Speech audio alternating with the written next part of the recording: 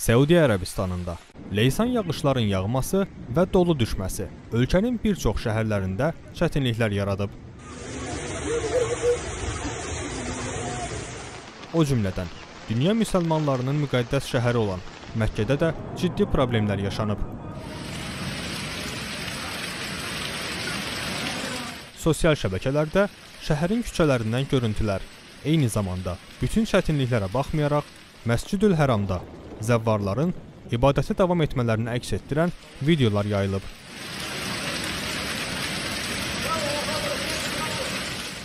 Dolu səbəbindən ziyarətgah bir anın içində ağ örpəyə bürünüb. Məlumata görə ölkə rəhbərliyi ötən həftə baş verə biləcək sel fəlakəti ilə bağlı əhaliyə xəbərdarlıq edib.